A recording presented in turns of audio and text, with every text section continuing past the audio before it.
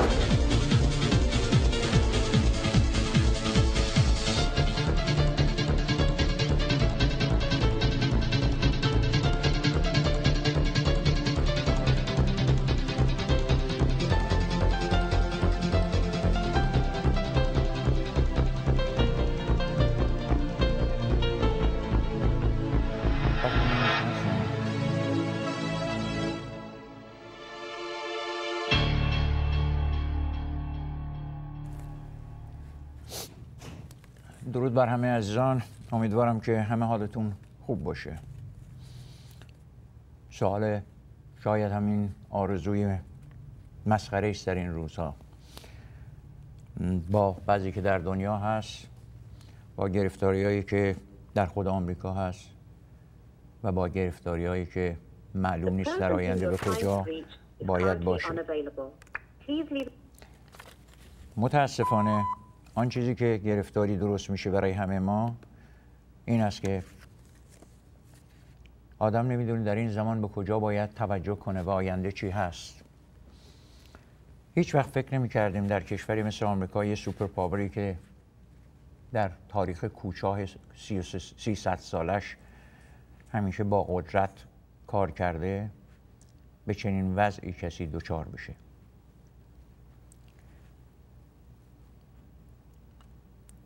اجازه بدید که فقط کوتاه اشاره کنیم به مسائلی که وجود داره توی دنیا. اگر این اتفاقات در کشور ما در ایران میافتاد یا در ایران جمهوری اسلامی میافتاد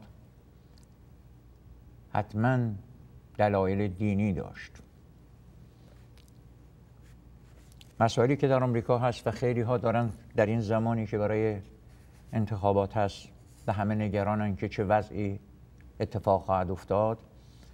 عبارت بر این است که در کالیفرنیایی که ما زندگی می‌کنیم قیمت بنزین و سوخت اونقدر بالا رفته که در حد بیکاری وحشتناک و از لحاظ مادی که در کالیفرنیا هست همه رو نگران کرده. متاسفانه هر کسی که می‌خواد انتخاب بشه قول و قرارهایی میده و وقتی هم میره توی قدرت و دولت می نشینه هر چی دلش می‌خواد انجام میده. همه داستان ها بر اینه که آمریکا اونطوری که خبرها رو میگن اونطوری که تمام نشریات و افراد متخصص صحبت می‌کنن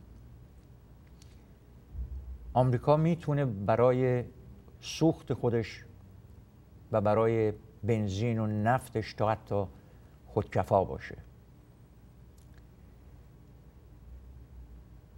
و در زمانی که خودشون می‌دونن الان هنوز سوخت های فسیلی ارزونتر از سوخت است که می‌خواهند درست کنن ولی می‌بینیم که باز هم همه گرفتاری ها در اینجاست که تا حد وحشتناکی هیچ کس نمی‌دونه که چرا باید به اینجا برسیم و چرا تا این مرحله به جایی رسیدیم که در شرایط بد مادی مشکلات بزرگی رو به وجود آورده. شما وقتی که سوخت و بنزینتون در هر کشوری گرون میشه همه مواد غذاییتون هم گرون میشه. همه چیز گرون میشه. برای اینکه تا حتی آرد رو اگر بخوان بیارن برسونن به جایی که نونوایی ها هستن؟ با چی باید بیارن؟ کامیون ها باز پول بیشتری میدن بیشتر چارج می‌کنن قیمت آرد رو بیشتر می‌کنن و قیمت همه چی بیشتر میشه. در زمانی که اقتصاد در اینجا ضعیف است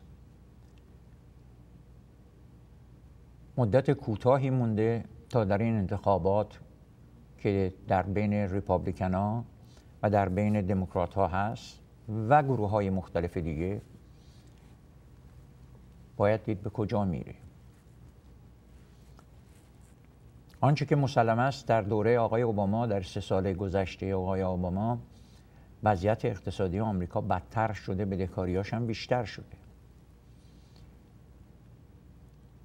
و متاسفانه راجب ملت ایران هم اگر صحبت کنیم آقای اوباما هر صدایی رو در خاور میانه در کشورهای عربی جواب داد.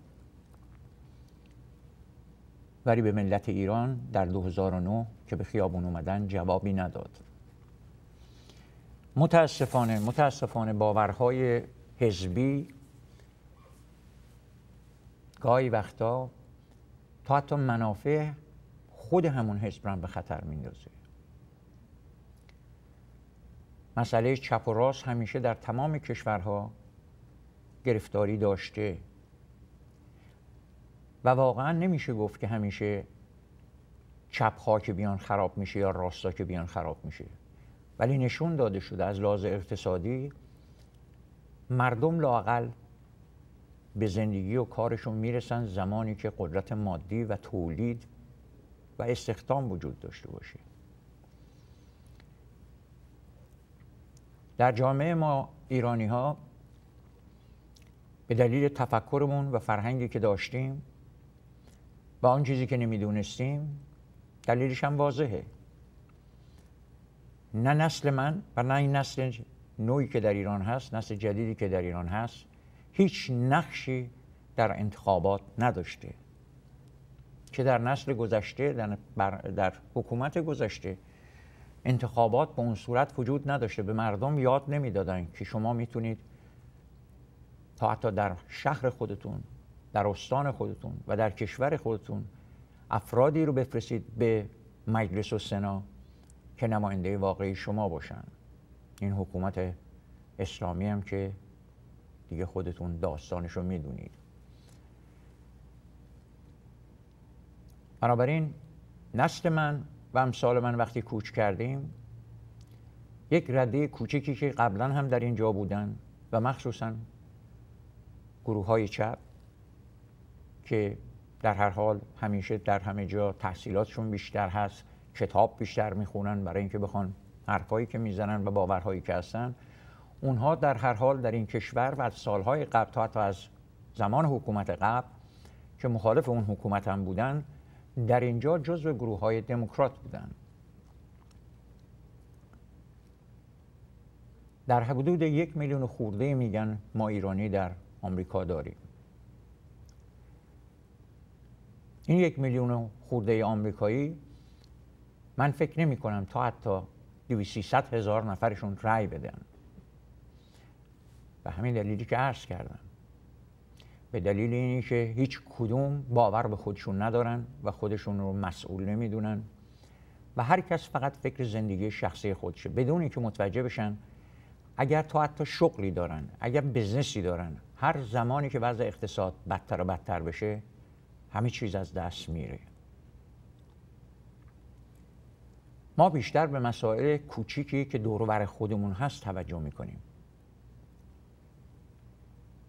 متاسفم که در این برنامه این حرف بزنم ولی اکثرا مسائل خانوادگی فامیلی چشم و گفتگوهایی که در کوچه و خیابان و شهر هست شایع سازی ها یا هر چیز دیگه و همه اینها در سطح فقط کوته فکری خود ما و برای ما اهمیت بیشتری داره تا اینکه که ببینیم موج بزرگی که داره میاد همه اینها رو تحت تاثیر قرار می‌گیره. تا این تاریخ در این چندین ساله هر زمان که ما افراد مختلفی من صحبت کردم تا حتی با گروه های سیاسی صحبت کردم هیچ کدوم راجع به این مسئله تا حتی با اعضاشون صحبت نمی‌کنن و از اونها نمی‌خوان که در این کار خودی نشون بدن. با هر باوری که دارن. طرفدار دموکرات ها هستن طرفدار ریپابلیکن ها هستن. و هر چیزی دیگه اما آنچه که الان مهم هست دعوایی که الان بین ریپابلیکن ها و دموکرات ها هست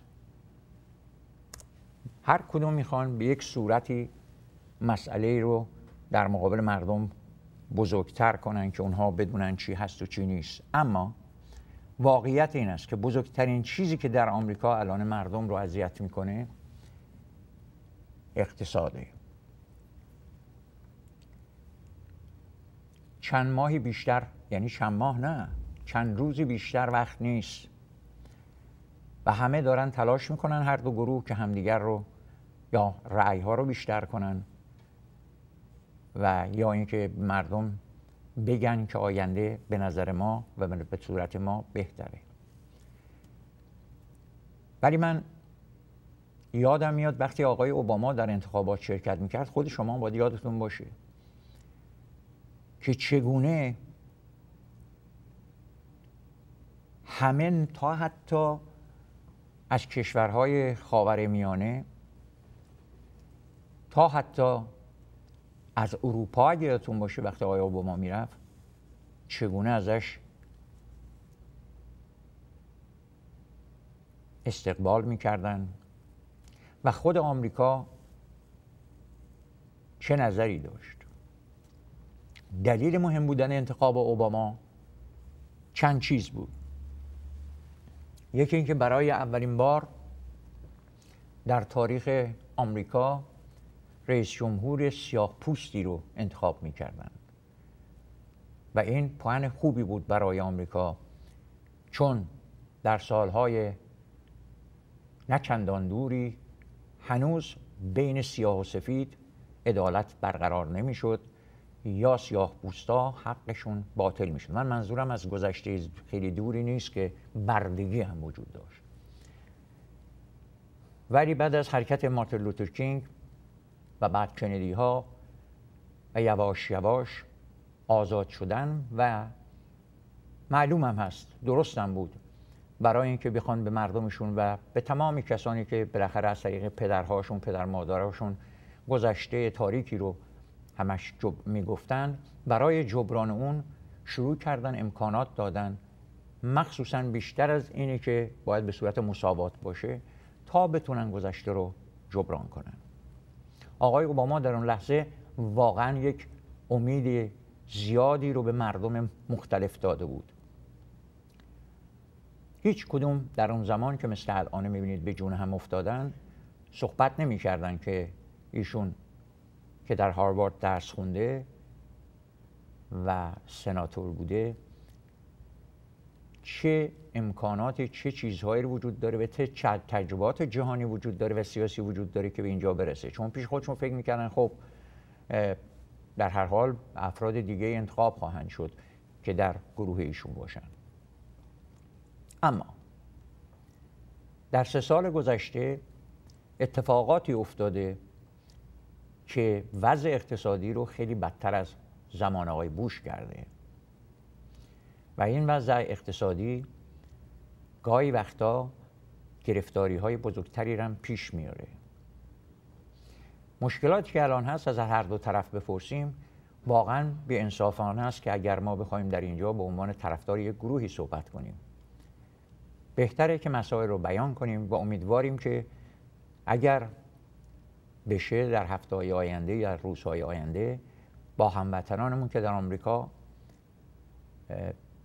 جزو گروه های دموکرات یا ریپابلیک هستن صحبت کنیم و ببینیم دیدگاه اونا چیه به شما بدونید. ولی من نمی‌خوام در اینجا امروز برنامه رو برون بذارم. دو دلیل دارم. یکی اینکه من پیشنهاد می‌کنم و دلم می‌خواد که از هر دو گروه و باورهای تا حتی سه گروه در اینجا باشن. چون الان گروهی هست که جزو حزبها نیستن ولی خب در هر حال می‌تونه قدرت توازن رو به هم بزنه و اون هم گروهی هست به اسم تی پارتی. شاید از اونها هم بشه دعوتی کرد. نمی‌دونم من بتونم این کار رو در این وضعی که دارم ادامه بدم و بتونم اجرا کنم. ولی تمام سعی رو می‌کنم تا آخرین لحظه ای که سر پام هستم آن چیزی که فکر می‌کنم اطلاعاتی که باید بدم و گفتمانی که باید باشه به وجود بیارم. چند ماه پیش من تلاش کردم که این کار به صورت گروهی انجام بشه و نشد. این نشانه اون است که ما ایرانی ها برخلاف تمام کشورهای مختلف تا حتی اعراب ما منافع شخصیمون برامون از همه چیز مهمتره. و همه ترجیح میدیم که دیگران برن جلو و نابود بشن. و پیش خودمون فکر کنیم زرنگی می‌کنیم. که ما به هیچ طرفی اهمیت نمیدیم ما قاطی هیچ چیز نمیشیم. برای اینکه هر کدوم ببرن باز ما می‌تونیم بریم اونجا گردنمون رو بگیم آقا بذارید ما پولمون رو در بیاریم. زمانی نه که فکر کنید فقط ماها ایرانی ها هستیم. اجازه بدید من این رو برای این جمله رو بگم و براتون میگم تا حتی در تاریخ چه اتفاقاتی افتاده. زمانی ما متوجه خواهیم شد که بدبختی سر خودمون میاد و خیلی دیگه دیره.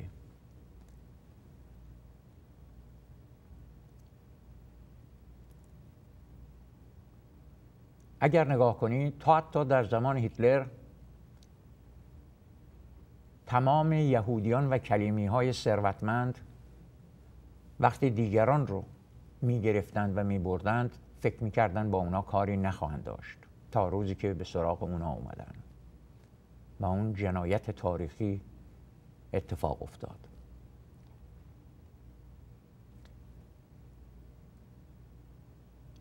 این پیشگفتار رو برای این گفتم که وقتی ما در کشورهای آزاد هستیم چنان بیخیالیم که در اونجا تا حتی که امکاناتی داره که در کشور خودمون نداشته از اون تنها استفاده که می‌کنیم استفاده شاید هم اسمشه بذاریم سو استفاده مادی یا مقامی است. امکاناتی که به ایرانی ها در کشورشون داده نشده الان در اینجا دارند چه زن چه مرد. ولی اکثرا به نفع خودشون استفاده می‌کنن. فقط به فکر خودشون هستن. و زمانی که هستیشون از بین میره همه چیز رو به گردن دیگران و اتفاقاتی که در اون روز افتاده یا شخ اشخاص دیگه میندازن در حالی که اگر انصاف داشته باشن همه اتفاقات رو باید خودشون هم درش گناهکار و سهیم باشن.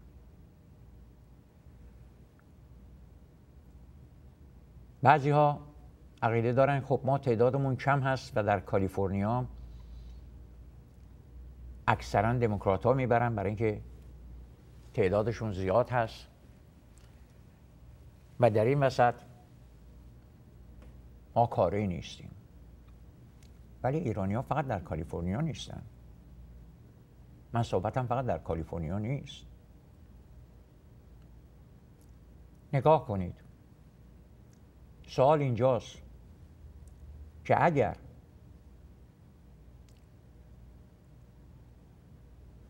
آنهایی که کار درست می‌کنن کارخونه های دیگه مثل همین چند سال اخیر هم خیلی ها رفتن برن. اینجا که نمی‌تونن مثل جمهوری اسلامی نیست که بگن هر کی پول داره پولاشونو رو بگیریم بکنید زندان بعدش هم بکشینش. هر کسی می‌تونه شرکت های بزرگش رو یواش یواش ورداره چه بسا که تا کردن. برداره و به جاهایی بره که بتونه بیشتر سود ببره. یعنی من دارم به همون حرفی که دموکرات ها می‌زنن دارم میگم. ولی باید نگاه کرد. اگر همه اینها برن فرض کنیم. شرکت های ماشین سازی از دال خارج نیست. یا شرکت های بزرگی که تولیدات و کارمندایی درست می‌کنن و دولتی نیستن که در آمریکا همشون دولتی نیستن اکثرا دولتی نیستن. وقتی فشار بهشون بیاد از این کشور برن دولت مجبور خودش اونها رو جاشو بگیره. وقتی دولت جای یک صاحب شرکت رو می‌گیره قوانین هم در دست خودشه. شکایت کردن از دولتی که خودش صاحب اونجاست مشکله. و بعد هم هر کاری دلش بخواد می‌کنه این از نظر نگاه کردن به هر شرکت و هر سازمانی. ولی از نظر کشور کشوری می‌تونه اصولا به این وسیله شبیه کشورهای سوسیالیستی و کمونیستی بشه. همه چیز در دست دولت. آن چیزی که جمهوری اسلامی در شروع کار آمد اول گذاشت یک عدهای برای که موافقش باشن سرمایه ها رو بهشون داد دیگران رو کنترل کرد و بعد یواش یواش گروه های خودش اومدن تمام سرمایه ها و شرکت ها رو سازمان ها رو به دست گرفتن و هیچ کس هم نتونست باشون کاری بکنه. اجازه بدید که من ارز کنم خدمت شما که در این لحظه فقط بذارید کوتاه من یک خبرهایی رو بگم و یک بریک کوتاه بگیریم برگردیم با آقای دکتر لاجوردی صحبت خواهیم کرد.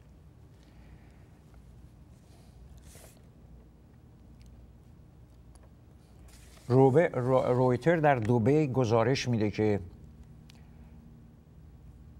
هزاران نفر تعداد هزار هزاران نفر از ایرانی ها در زمان در موقعی که یک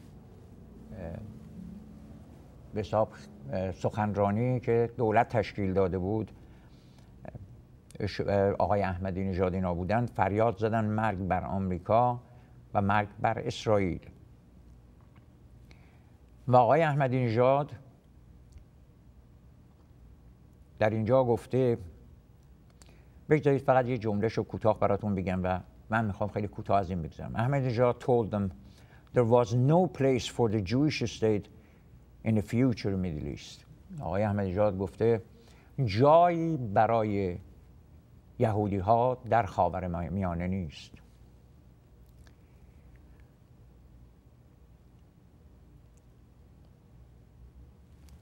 بعد در اینجا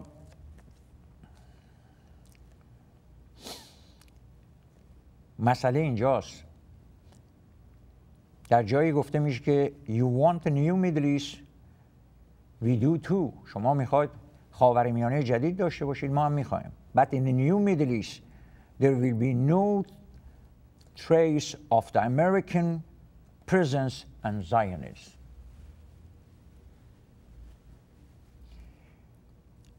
میگه شما می‌خواید میانه جدید درست کنید ما هم می‌خوایم. ولی در خاورمیانه جدید نه دیگه رد پای آمریکا باشه نه سیهونیست یعنی اسرائیل.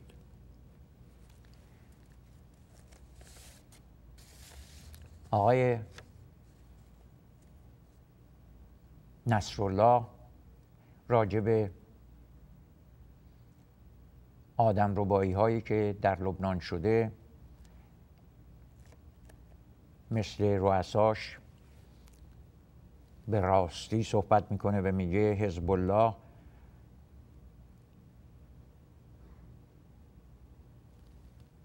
میگه گفته که حزب الله رئیس حزب الله گفته که زندگی اسرائیلی ها رو به جهنم تبدیل خواهد کرد.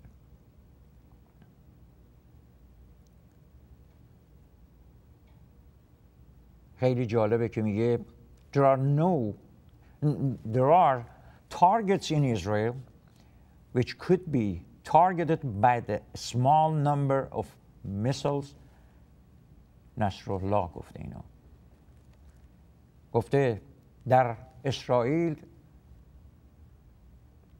مکانهایی هست که به وسیله افراد مختلف می‌تونه منظورش موشک می‌تونه مورد حمله قرار بگیره. از اون, از اون زمان باز هم در اینجا میگه در این گروه در این گروه هایی که انسان ها رو می‌گیرن و میروبایند که در لبنان دیروز در برنامه ها گفتیم گروه حزب الله یا عمل کاری نمی‌تونه بکنه. برای اینکه اینها گروه های کوچیک خودشونن. ما, ما گناهی نداریم. ما اصلا در اینا کنترلی نداریم. ولی واقعا واقعا اگر نگاه کنید ببینید که داره به کجا و به چه جای خطرناکی داره میره.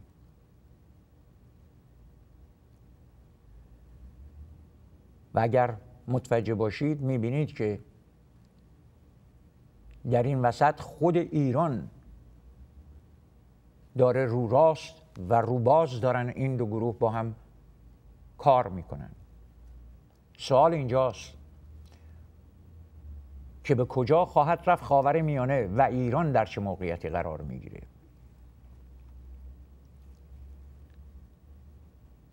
آیا دنیا تنها آمریکا نیست؟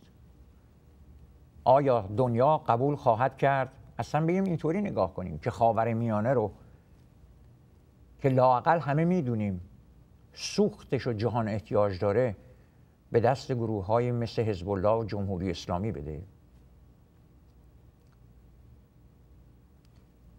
و آیا ایران با آخر خط رسیده که فکر می‌کنه دیگه روباز عربده کشی کنه و طلب کنه که بهشان حمله کنن و باز هم پیش خودش فکر می‌کنه که با این حمله ای که بهش بشه امکان داره مثل حمله عراق همه مردم جونشون کف دست بذارن و برای حمایت از خاک ایران خودشون رو به کشتن بدن. آیا الان مردم ایران مانند زمانهای دهه های گذشته هست که جمهوری اسلامی هنوز روی خودش رو به این وزن نشون نداده بود؟ آیا کسانی که در جبهه جنگ که عراقی ها با سابقه ای که در ایران داشت به ایران حمله کردند و می‌خواستند خرمشهر هنوز هم خرمشهر این آقایون با اصلا آبادی نکردن آبادان و خرمشهر و تمام خوزستان رو فراموش کردند و فقط به جاهایی که خودشون دوست دارن تا حتی کردستان رو بلوچستان رو. خب فکر می‌کنید هنوز مردم ایران اگر جنگ بشه اونم نه جنگ با عراق جنگ با آمریکا. و آمریکا هم حتما دنبال یک جنگ طولانی نخواهد بود. اگر اجبار داشته باشه. اما سوال من و شاید شما این است. چگونه در این 33 سال دولت های آمریکا و انگلیس و فرانسه و آلمان و همه همه ملت ایران رو فراموش کردن. و فقط برای مسائل اقتصادی یا هر چیز دیگه ای گذاشتن تا این حکومت به اینجا برسه. و وحشت من این است و آرزو می‌کنم که زنده نباشم و نابودی ایران رو نبینم. ولی وحشت من از این است که هنوز من و شما و دیگران در خوابیم و سر لقمه نانی که به دست آورده ایم به جون هم میفتیم و هنوز گروه های سیاسی نتونستن به راه صحیحی برسن و به جایی برسن که واقعا ملت ایران آزادیشو به دست بیاره. و این آزادی هم باز موقت نباشه. اجازه بدید کوتاه بریم و برگردیم. با مهمانمون صحبت خواهیم کرد. و امیدوارم امیدوارم که دقت کنید و در آخر برنامه هم صحبتی با شما دارم. البته هنوز نمی‌دونم باید این صحبت رو بکنم یا نه. ولی بگذارید شاید امروز نکنم و در همین یکی دو روز آینده با شما صحبت کنم. میریم و برمیگردیم.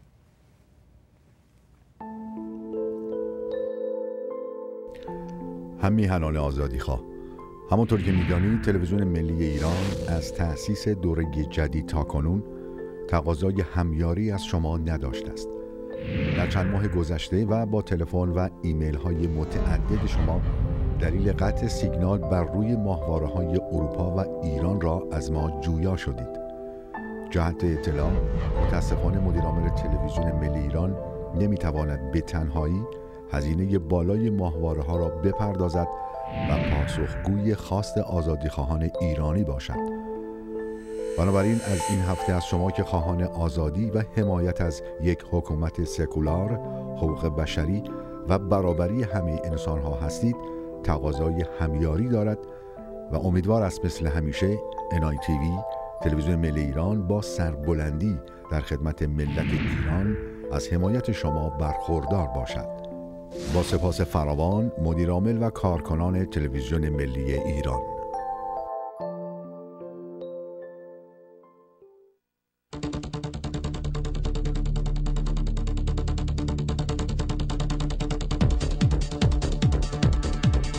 تلویزیون ملی ایران و تلویزیون پارس تقدیم می کنند هر سه شنبه ساعت 8 صبح به وقت لس آنجلس ساعت 5 بعد از ظهر به وقت اروپا و ساعت 7 و 30 دقیقه به وقت تهران برنامه People Power با ضیا آتابای به مدت یک ساعت همزمان به صورت زنده پخش می شود.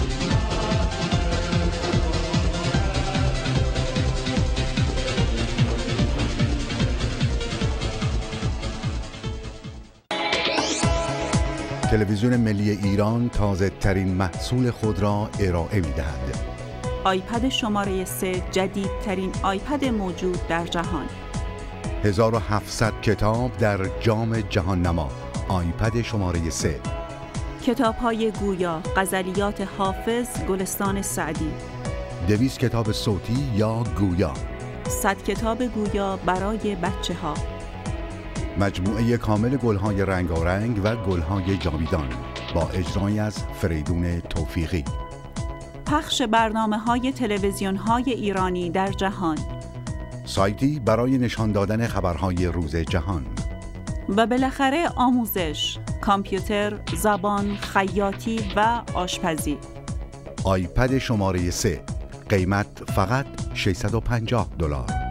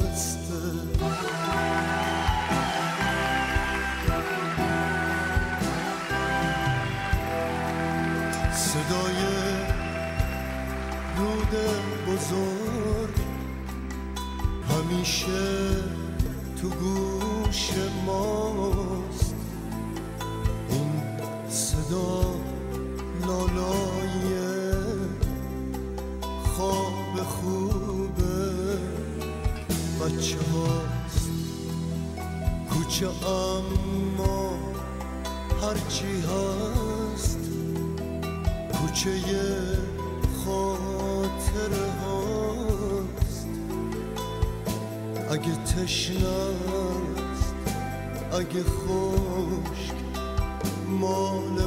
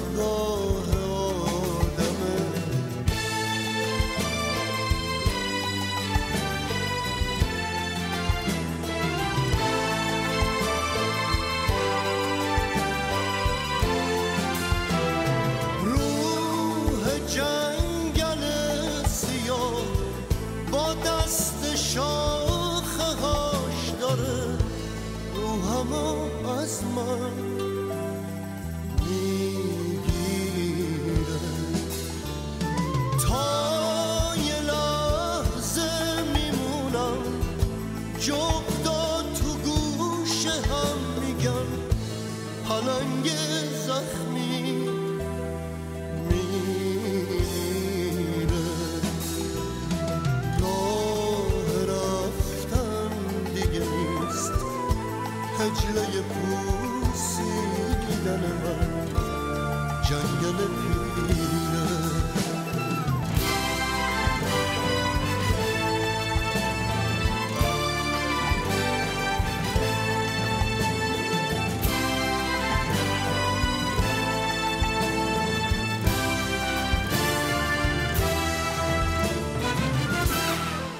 چشای بی فرو میونه راست و دروغ خودم گم می‌کنم توی این شهر شلوغ. پچ پچ آدم کن بس که تو هم میدوه دیگه فریاد سایمم نمیشنوه. صدای زنجی تو گوشم می‌خونه. تو داری از قافله دور میمونی. سر تو خم کن تا در بشن تا بگی نه پشت کن.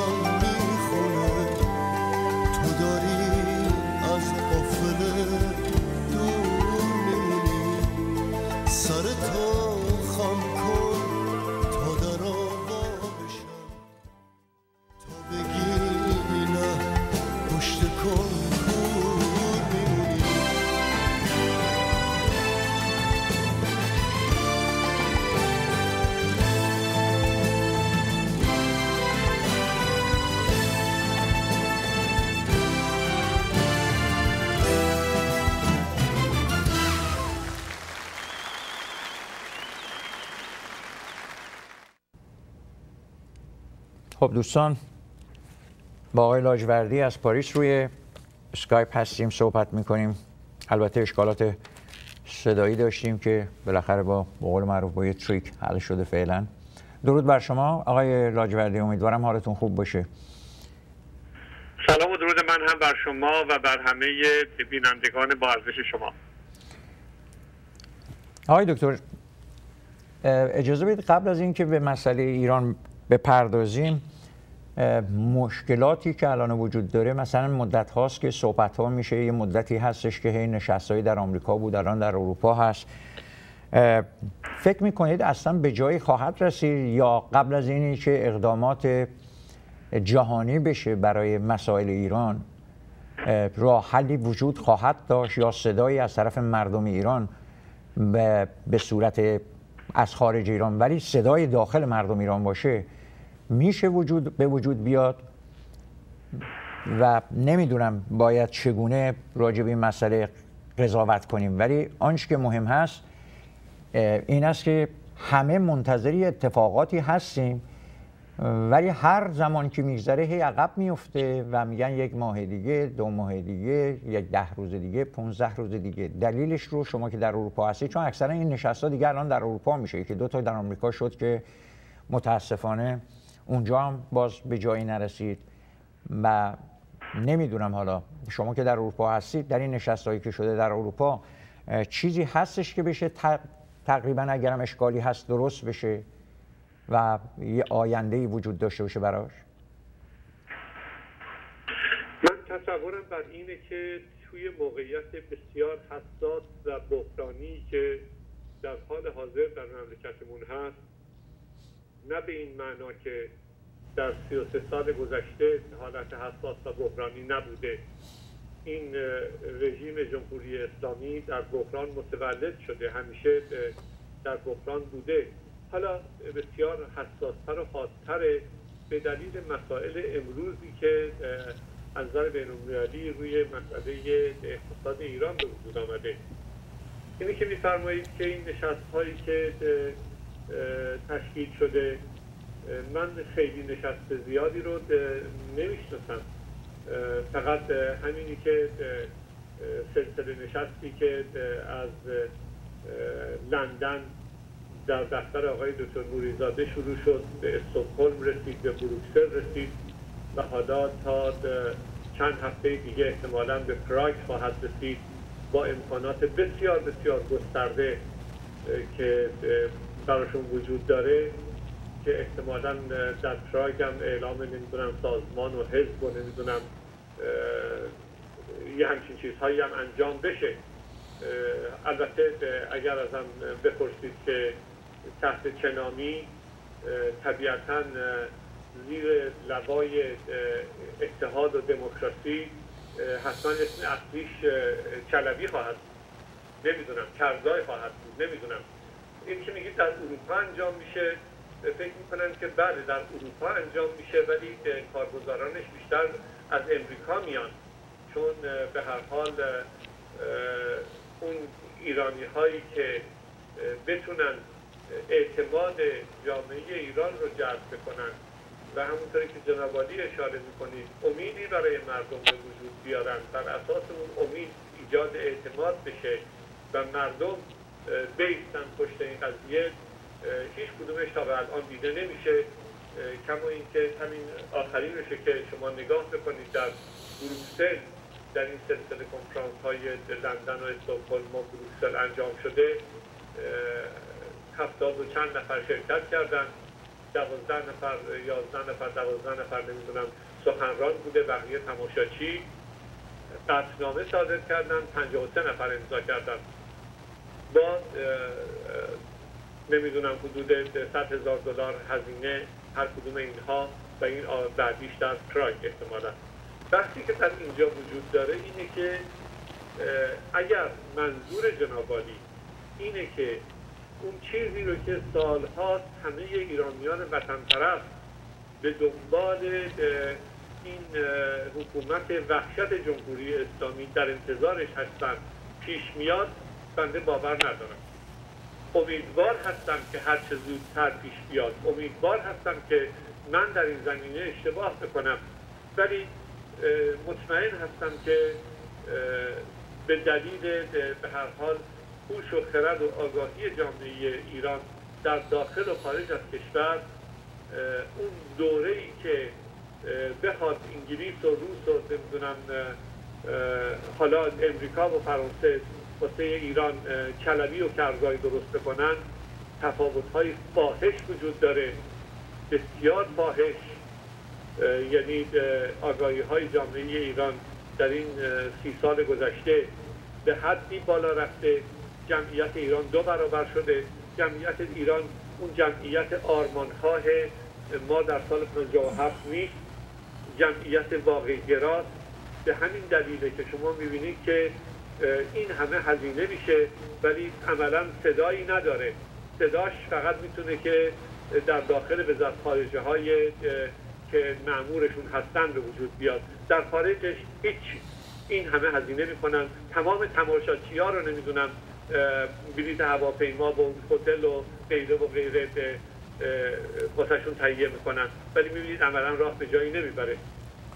اگر از من در پیامد این قضیه سوال بفرمایید که در نهایت چه باید کرد پیشنهاد هفته پیشم رو دو دفعه پیشم رو باز مطرح می‌کنم و میگم که زمانی که این امکان به وجود بیاد این افراد مدعی جلوی تلویزیون جلوی دوربین تلویزیون بشینن و مردم قضاوت بکنن اون زمان حرکت مردمی شکل خواهد گرفت. در غیر این صورت من ضمن این که همیشه آدم امیدواری هستم در این قسمت خاص امیدواری زیادی ندارم. آقای دکتر راجب این مسئله چیزهایی رو سخنهایی رو که گفتید دیگران شنیدن و اتفاقا جسته و گریخته جوابهایی رو دادن که می‌خوام من با شما در میون بذارم و بقیه دوستانی که سوالای شما رو شنیدن و بینندگان.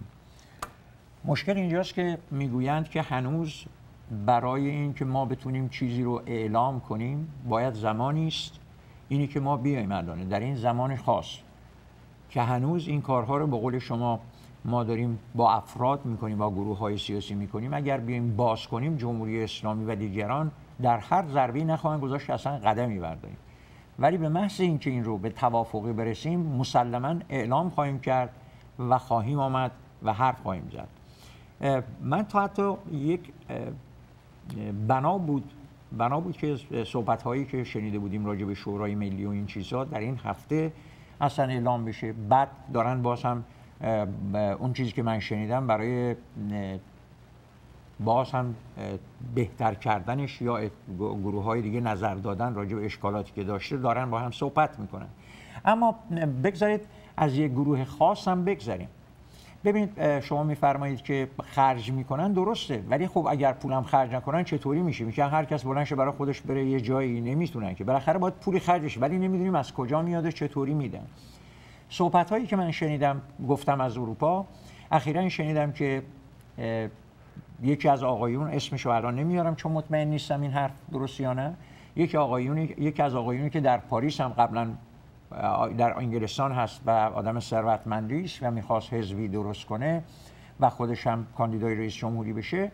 الان داره یک رادیو رو به وجود میاره در انگلستان و در و فکر می‌کنم که این رادیو هم داره از خبرنگارا و کسانی دیگه هم دعوت کرده و به زودی هم یا الان شروع شده یا تلویزیون تلویزیون معذرت نه رادیو. دارن شروع میشه. در هر حال من فکر می‌کنم که به زودی اشکالاتی هم به وجود خواهد اومد. و خود شما می‌دونید جمهوری اسلامی هم همینطوری ننشسته. در هر قالبی در هر وضعی شروع خواهد کرد و معلوم نیست به کجا می‌رسه. ما هم همه امیدواریم که واقعا یک روزی به جای اون که بیسیم تا دیگه جایی برای همچه حرفا نباشه. و جمهوری اسلامی هم که داره تلاش می‌کنه یک جنگی رو در منطقه شروع کنه و آرزوش اینه که یک کشوری بهش حمله کنه. تا حتی امروز در خبرها این بود که هم آقای حسن نصرالله هم آقای احمدی نژاد رسما گفتن که دیگه در آینده خاورمیانه نه آمریکا وجود خواهد داشت نه دیگه اسرائیل و یهودی ها و صهیونیست. بنابراین این جابجایی ها معلوم نیست در منطقه به کجا می‌رسه. گرفتاریه که تمام منطقه داره. و توجهی هم به نظر من دولت آمریکا و دولت آقای اوباما در تمام مدت که سر کار بوده نکرده. و البته شما صدا نمیشنوی؟ دارم میشنوم. چرا؟ ولی خیلی ضعیف. بله. صدا, صدا ضعیفه. من میارم تلفن جلو. چون تصویر شما رو ما داریم. ما می‌بینیم که شما مثل صدا رو نمیشه ما تصویرتون رو داریم از اسکایپ می‌گیریم. برای اینکه گرفتاری داشتیم تلفن صدای شما رو می‌گیره. دقت کنید که در اینجا بلند نشید دفعه راه بیفتید. چی شده؟ گوشتون اذیت میشه قربان؟ خواهش می‌کنم. ولی مشکل اینجاست.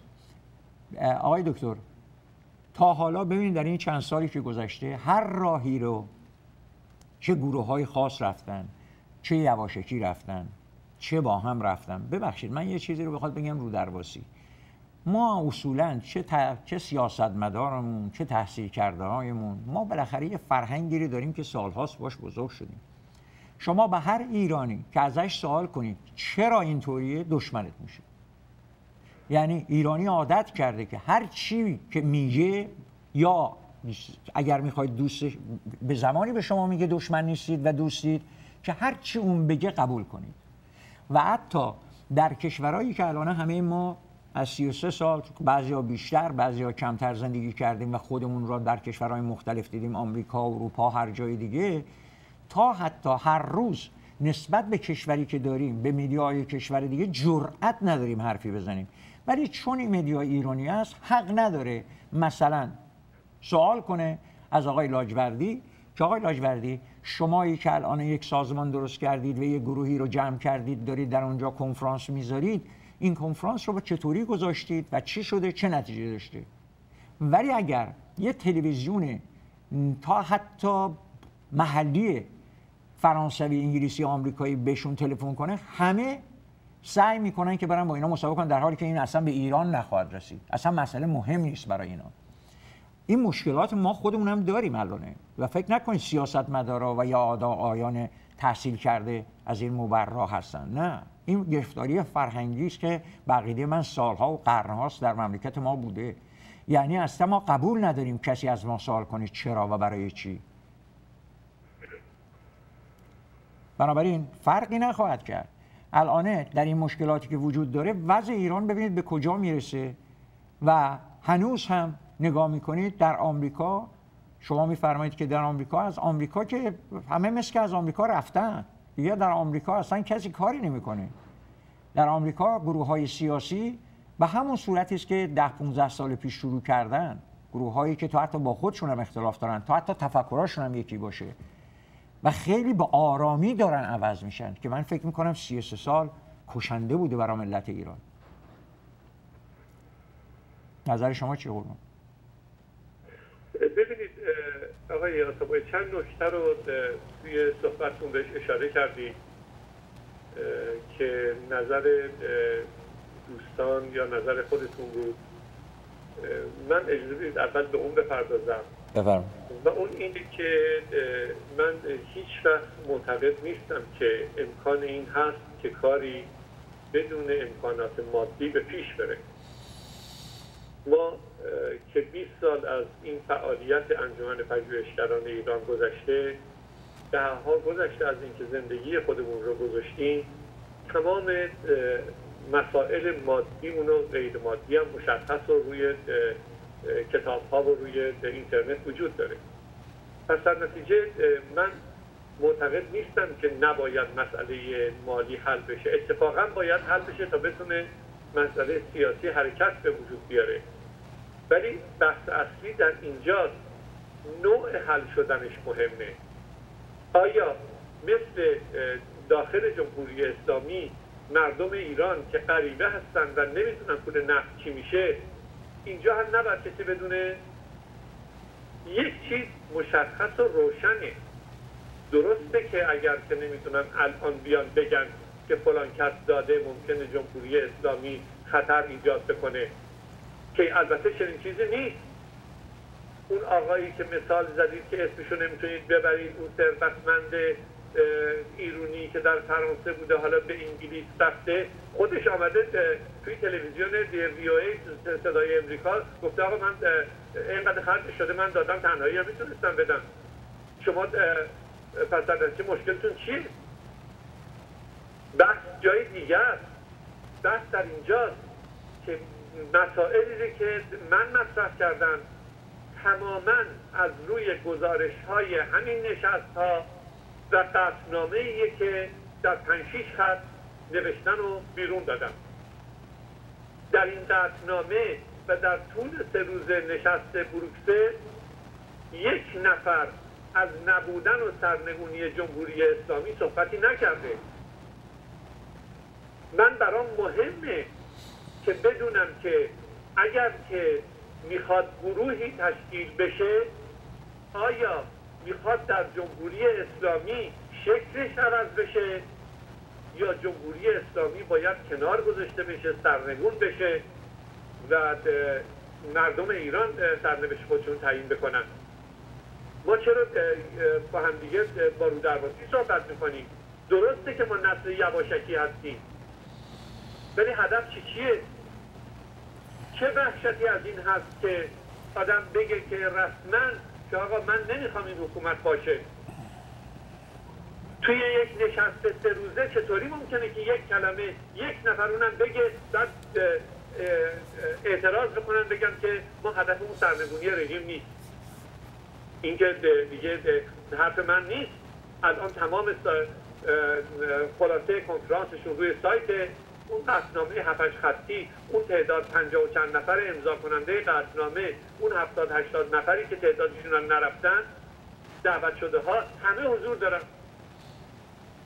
دیگه این که دیگه مسئله این نیستش که نمی‌دونم جمهوری اسلامی ندونه. جمهوری اسلامی از کم و کیف همه اینها با اطلاعه. اون ما هستیم که مشکل داریم. اون ما هستیم که به جمهوری اسلامی میگیم که تو خودی و غیر خودی داری. چون حالا کسی نمی‌تونه به جمهوری اسلامی در داخل حرفی بزنه. مواجه با نمی‌دونم تو پتوپنگ و اعدام و زندان و شکنجه و تجاوز میشه؟ در خارج از کشور کمچین چیزی نیست که در خارج از کشور اگر که من بیام از شما انتقاد بکنم؟ شما نهایتا تلویزیون جواب منو بدید. تا الان البته ممکنه که حالا بعدا این گروه هایی که به هر حال به این ترتیب با گسترده دستی دارن همه کار می‌کنن. ممکنه که دیگه آدم خوش هم بفرستن که صدا رو خفه بکنن. یا صدای یک کسی رو قطع بکنن که البته کم ما ندیدیم. ما نمونه های بیشماری رو دیدیم که هم جمهوری اسلامی هم ایرانیان خارج از کشور که صاحب قدرت هستند قدرت چه قدرت مالی چه قدرت رسانه‌ای وقتی که با جای قرارداد میبندن طبیعی است اگر زمانی حسین لاجوردی نباید صحبت بکنه صداش قطع می‌کنن. بسیار طبیعی این قضیه. پس در نتیجه ما منتظر این قضایی ها باشیم. ولی من اینشون متوجه نمیشم که کجای این مسئله مشکله و کجای این مسئله سوال هست و این آدم هایی که سوال می‌کنن چرا نمیان مشخص سوال بکنن؟ و رفرنس بگیرن منبع و محفظ بگیرن برن سایت خود این کنفرانس و هم کنفرانس بروکسل هم کنفرانس لندن هم کنفرانس استکهلم هم کنفرانس چند سال دو سال پیش هم چند سال پیش پاریس. اینها همه وجود داره. اینا که مخفی نبوده صحبت های پشتش مخفیه. اینی که بیان یه جمعی اونجا بشینن دست بزنن آزاده. اینی که بیان بگن که نمی‌دونم دموکراسی خوب است. رژیم بد است جنایتکار خمینی جنایت کرده اینا آزاده گفتنش.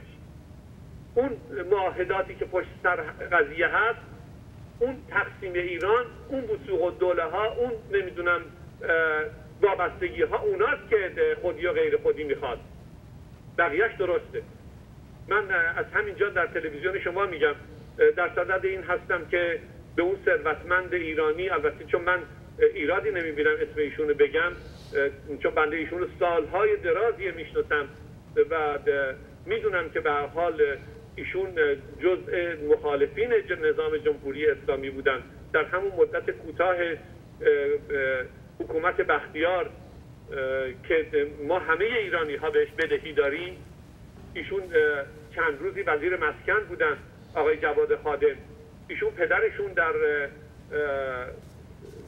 کودتای نوژه به دست جمهوری اسلامی کشته شد. حالا تعجبم در اینجاست. چطور هزینه های تمام این کنفرانس ها رو می‌پردازن و در اونجا یک نفر حق نداره بگه که نمیدن رژیم نباشه. سرنگونی رژیم رو کسی جرأت گفتارشون نداره. من می‌خوام این سوال رو مطرح کنم که آیا آقای جواد خادم برای آینده ایران هم پول می‌گذارن؟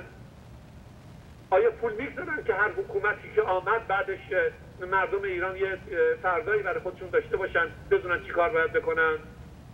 یا اینی که پروژه باید خاص باشه صداش هم در نیاد صداش بعدا در بیاد. بنده آقای آتابای خیلی مشخص از جایی که جنابالی هم سال هاستن در می‌شناسید و همه کسانی که مخاطبین برنامه شما و یا صحبت های من در رادیو تلویزیون های دیگه هم هستن. توقعی جز این از من ندارن. مشخصا خدمتون دارم میگم که من راهی رو جز این نمی‌بینم. مثل همیشه دعوت می‌کنم حضور پیدا بکنن. اگر که ریگی به کفش ندارن بیان و جلوی مردم بنشینن و سوالات رو پاسخ بدن. آقای دکتر دلیل اینکه من گفتم من نمی‌خوام اسم ایشون رو بگم به دلیل اینکه باید مطمئن می‌شدم شما حتما اطلاعاتون بیشتر بود. و واقعا یک چیزی برای من خیلی مهم هست که این آقایونی که دور هم جمع شدن آیا جمع نشدن که برای اینکه این حکومت عوض بشه و یک حکومت سکولار اون چیزی که همش صحبتشون میشه یه حکومتی که مردم انتخاب کنن نوع حکومت رو و قوانین اساسی رو همین چیزها رو. و نهایتا فکر نمی کنم شما بگید 50 نفر. من فکر می‌کنم اگه صد هزار نفرم در بیرون بخوان تصمیم بگیرن نمی‌تونن از طرف ملت ایران 75 میلیونی 80 میلیونی تصمیم بگیرن. نهایتا باید در ایران هست این حکومت این یا این گروه و این سازمان باید در داخل ایران قدرت داشته باشه و غیر از اون.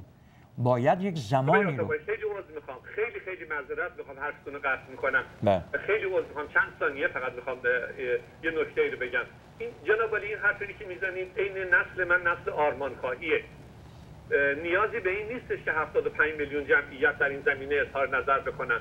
در مورد آقای کرزای و آقای کلبی فقط فقط یک امریکا اظهار نظر کرد. به مردم هم ارتباط نداشت. خیلی معذرت می‌خوام. پرانتزمون میبندم.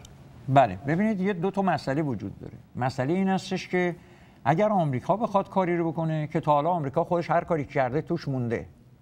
با هر سیاستی که بوده ببینید چه وضعی پیدا شده خود مملکتش و خود کاراش. ولی راجع به اینجا داریم صحبت از این می‌کنیم که در هر حال من عقیده دارم. تا حتی اگه آقای کارزار انتخاب کردن ولی دلیلش این نیست که همه مردم عراق این راه رو قبول داشتن و نتیجه هم داریم می‌بینیم به کجا خود آمریکا رسیده. ولی دارم من سوالم از این است که در هر حال اگر بخوان گروهی بیان اینجا و شورای درست کنن و دلیلشون بر این باشه که در داخل ایران هم افرادی هستن که به خاطر مسئله امنیتی و یا اینکه حکومت خب در هر حال نمیشه اینشون بلند شه. اونایی که هر تازه حرفی هم نمی‌زنن تو زندانن و بعدش هم میمیرن.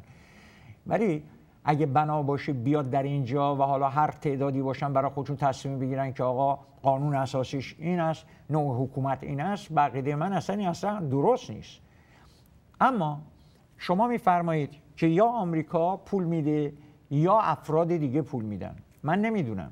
آمریکا معمولا یا هر کشوری بالاخره از بیرون که بخوان کار کنن من فکر نمی کنم که آقای خادم اونقدر پول داشته باشه که بتونه مملکت عوض کنه. همچی چیزی نیست.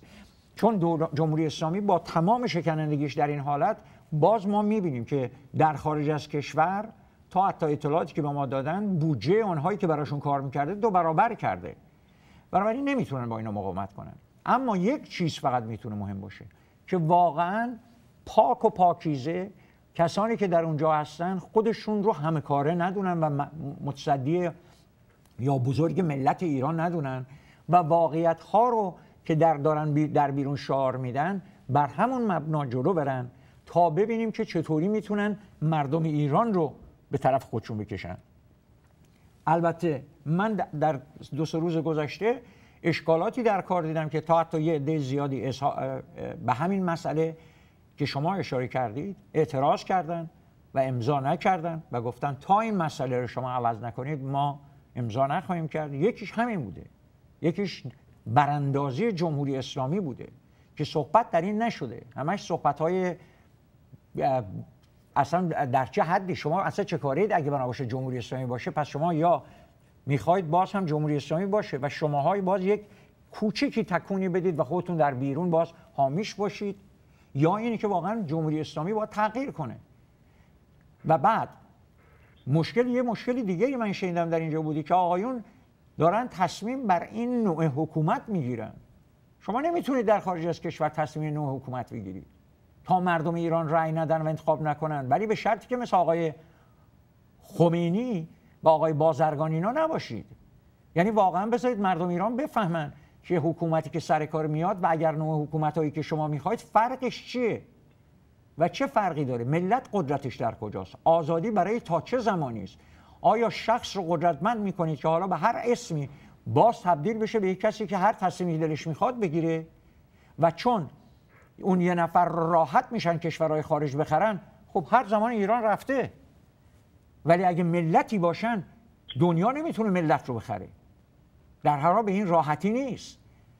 و من اینا رو شنیدم و اتفاقا در یکی دو روز گذشته واقعا من آقای دکتر همه می‌دونن من کسالت دارم حالم خوب نیست. و واقعا اینا هم ضربه می‌زنه به آدم. یعنی نگاه می‌کنه میگه چه افرادی در قالب های چه چیزی سالها دارن صحبت می‌کنن. وقتی بهشون فرصتی داده میشه دور هم میشینن تا حتی شجاعت اینو ندارن در پنهان اون چیزی که ملت ایران می‌خوان بگن. بنابراین من فکر نمی کنم آمریکا بخواد حکومت جمهوری اسلامی باشه. من نمی‌دونم. آقا آمریکا به اینا پول میده که برن بگن آقا جمهوری اسلامی حمایت کن. من اینو باور نمی‌تونم بکنم. ولی اگر کسانی دیگه هستن من اطلاع ندارم.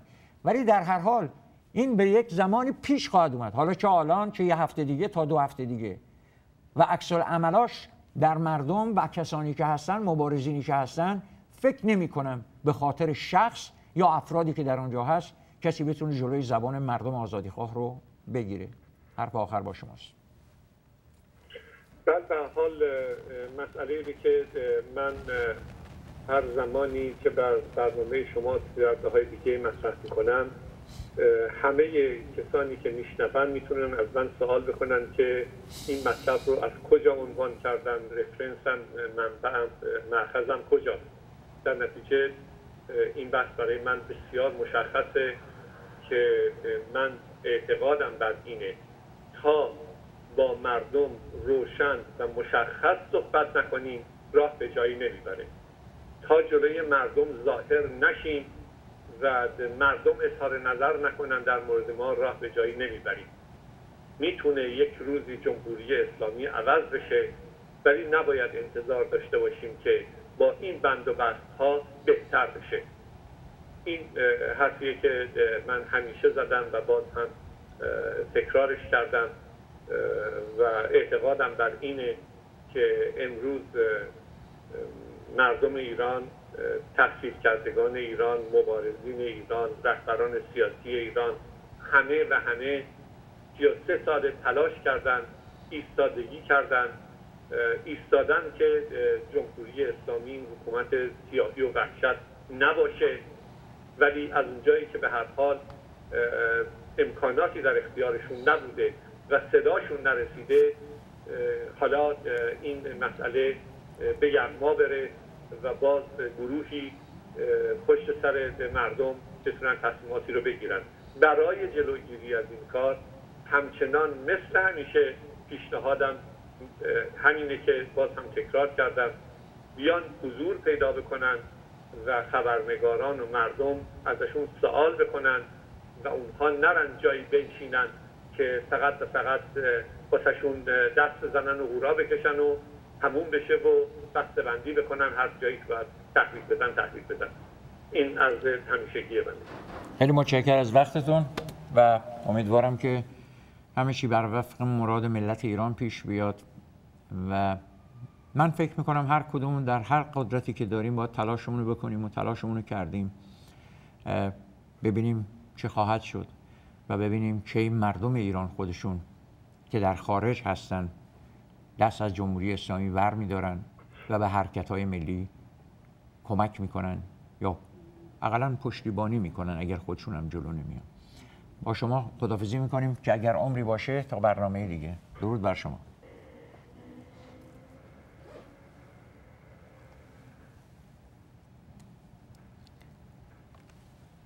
میریم و برمیگردیم و با شما خواهیم بود.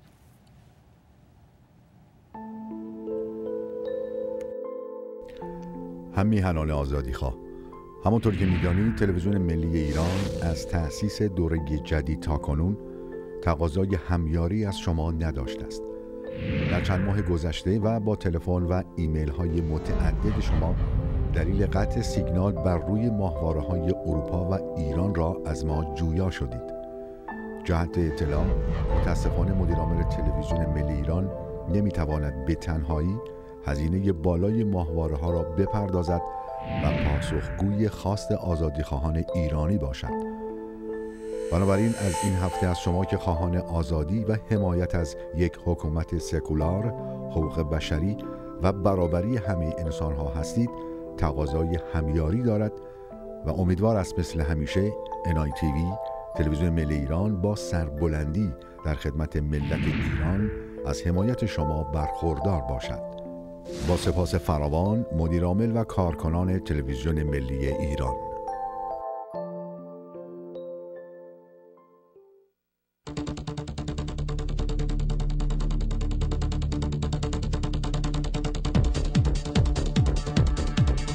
تلویزیون ملی ایران و تلویزیون پارس تقدیم می کنند هر سه شنبه ساعت 8 صبح به وقت لس آنجلس ساعت 5 بعد از ظهر به وقت اروپا و ساعت 7 و 30 دقیقه به وقت تهران برنامه People Power با ضیا آتابای به مدت یک ساعت همزمان به صورت زنده پخش می شود.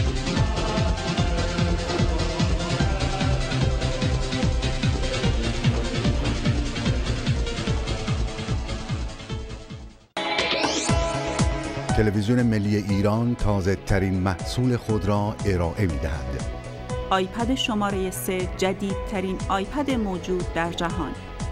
1700 کتاب در جام جهان نما آیپد شماره 3 کتاب های گویا غزلیات حافظ گلستان سعدی.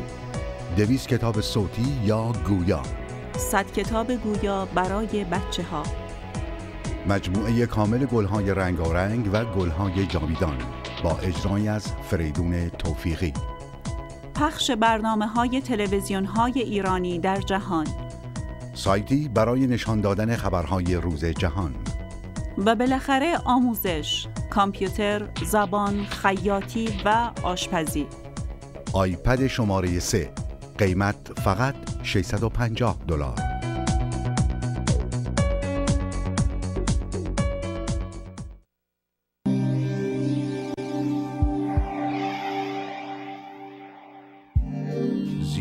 آتابای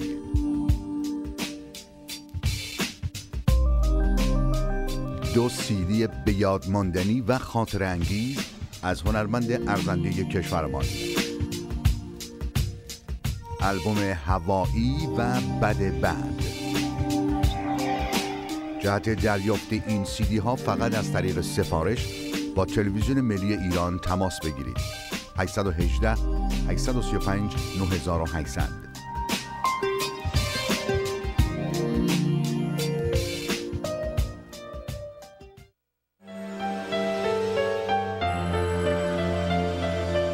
ویدیوی مستند ایران و آمریکا. رویدادهای تاریخی و اسنادی واقعی و مهم. دوبله شده به زبان فارسی و تولید دیگری از شهاب استدیو. پخش از تلویزیون ملی ایران. در شکلگیری رابطه هر کشوری با ایران در تاریخ معاصر نفت نقش اصلی را بازی می کند. روزولت، استالین و چرچیل در اواخر نوامبر سال 1943 برای شرکت در کنفرانس تهران راهی ایران شدند. مصدق قهرمان ملی شدن نفت شد. آوازه محبوبیت و شهرت مصدق از مرزهای ایران هم فراتر رفت. حجم پروژه های ساختمانی شرکت های آمریکایی در ایران به میلیاردها دلار می رسید و پالایشگاه های جدید تهران، تبریز و اصفهان توسط شرکت های آمریکایی در ایران ساخته شدند. در میان کارشناسان سیاسی ایران لقب پلیس منطقه خاورمیانه را گرفته بود. بسیاری از کارشناسان آن سخنرانی را آغاز سقوط شاه دانستند. اتفاقات چند ماه آینده به آمریکا نشان داد.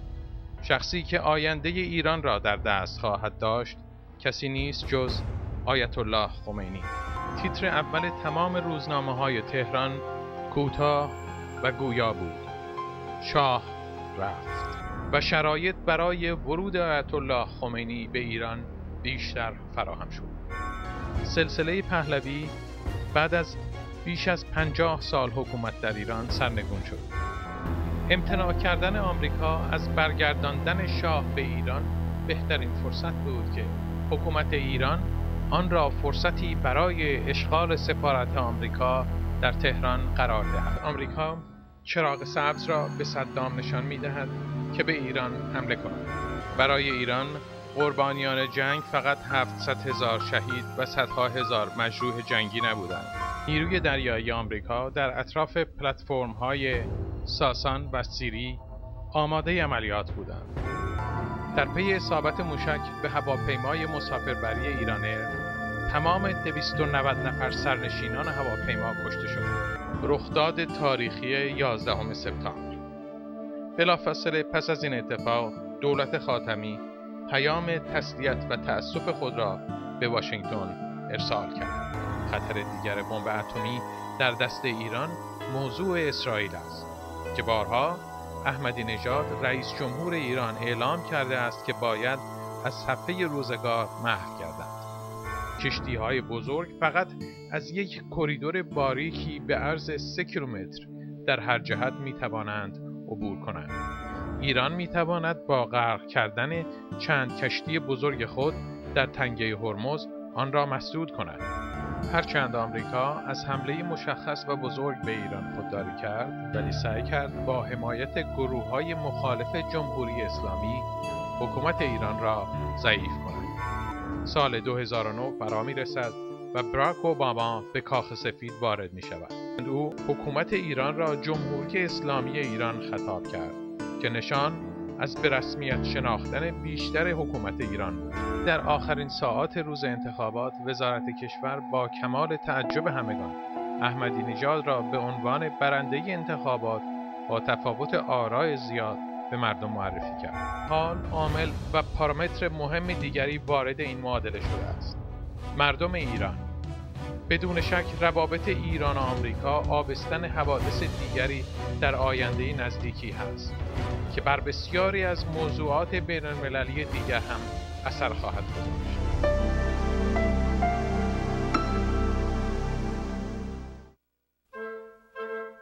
بسیاری از واقعیت ها را باید در این ویدیوی مستند دید برای سفارش از همکنون با تلویزیون ملی ایران تماس بگیرید 818 835 9800 ایران و آمریکا.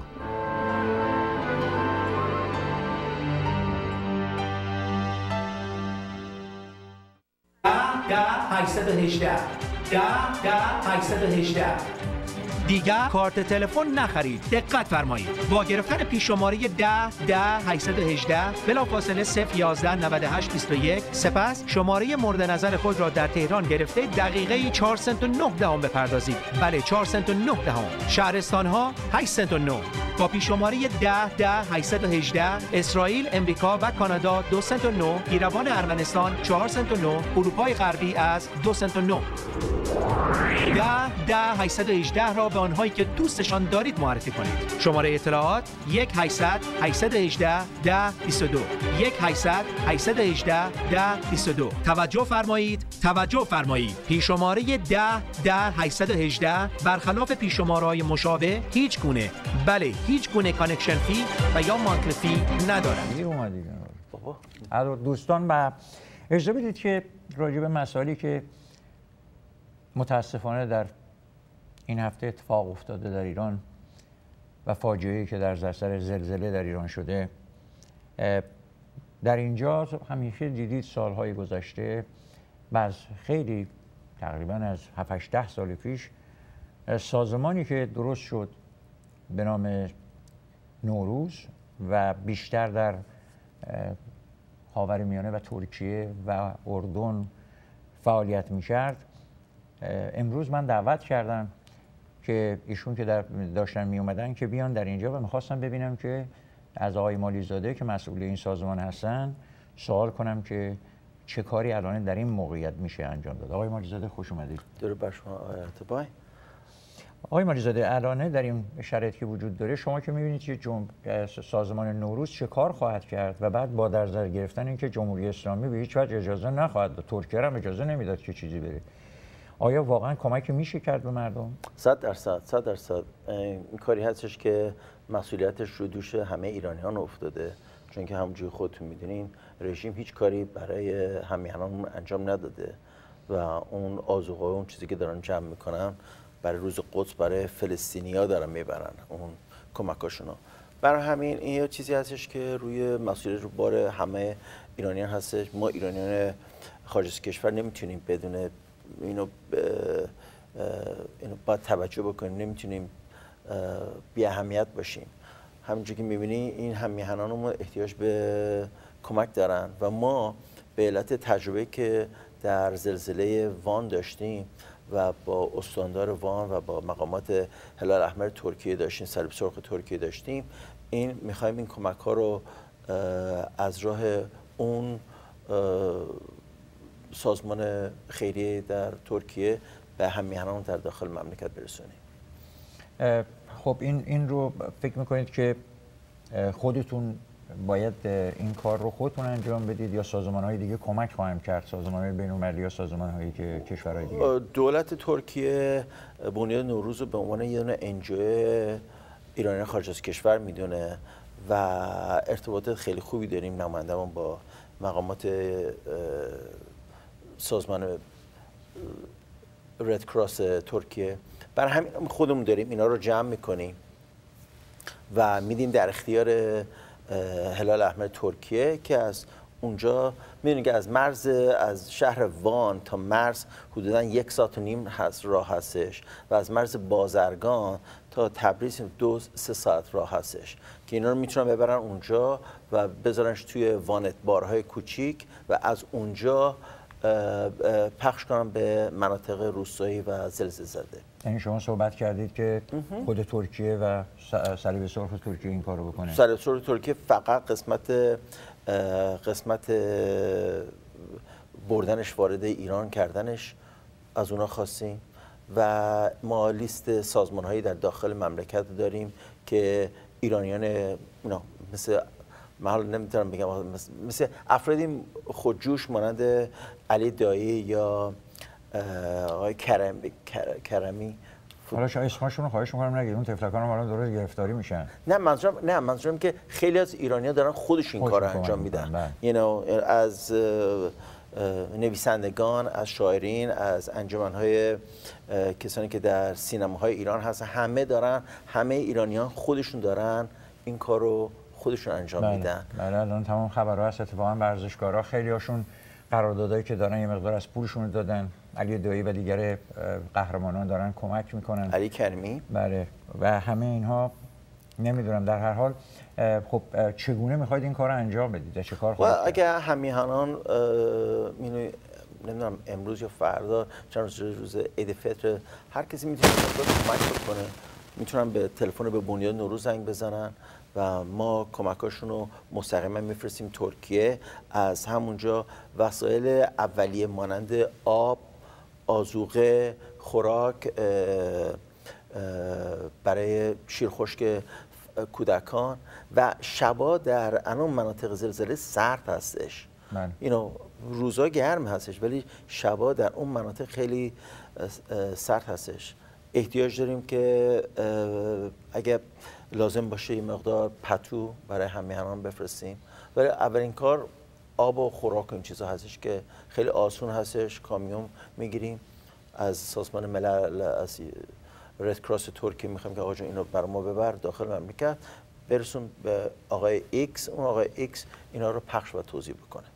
بله. امیدوارم که به دستشون برسه و امیدوارم که شما مین بدونید که چه کار باید بکنید برای اینکه جمهوری اسلامی هم خودتون می‌دونید هر چی از فعلا هر به اونجا زیاد اهمیتی براش نداره. شما الان در همین روزها هم براش مهمترین چیز اینه که گروه هایی که باش دوست هستن مثل حزب الله کسان رو حمایت کنه که بتونن در اونجا قدرت اینا رو داشته باشن.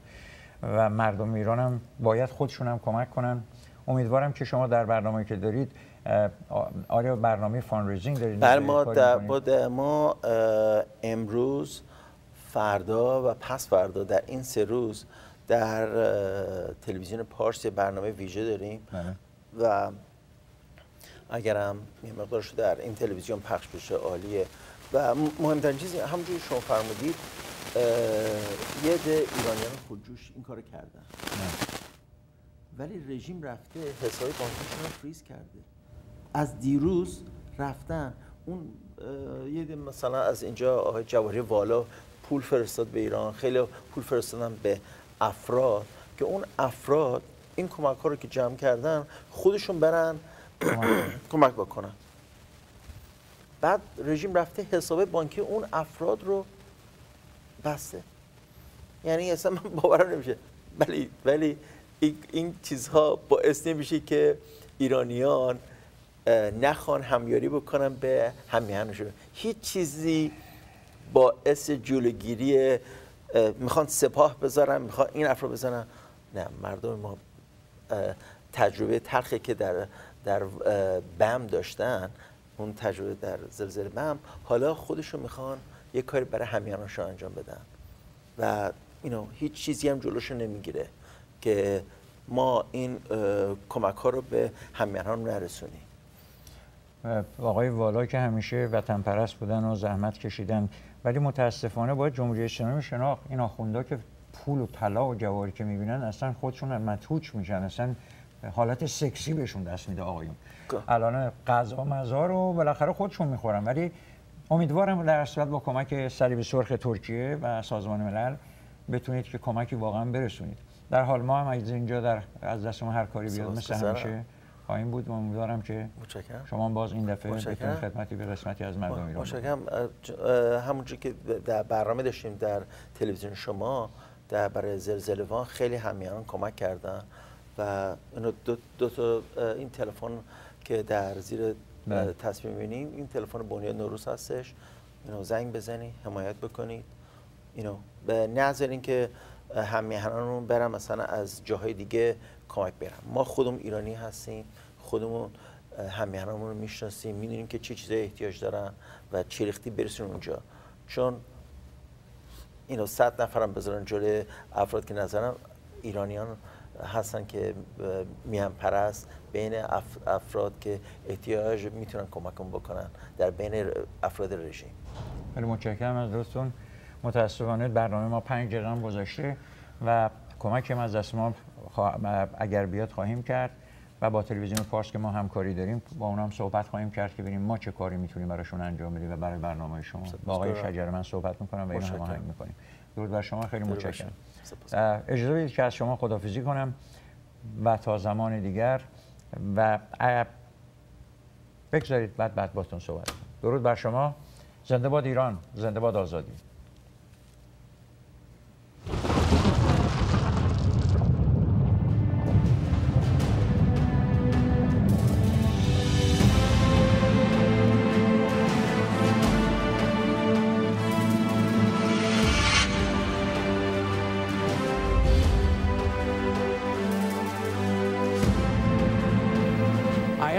Christian. I am Muslim. I'm Jewish. I'm Baha'i. I'm Buddhist. I'm Zatushti. I'm black. I'm yellow. I'm red. I'm white. We are an act.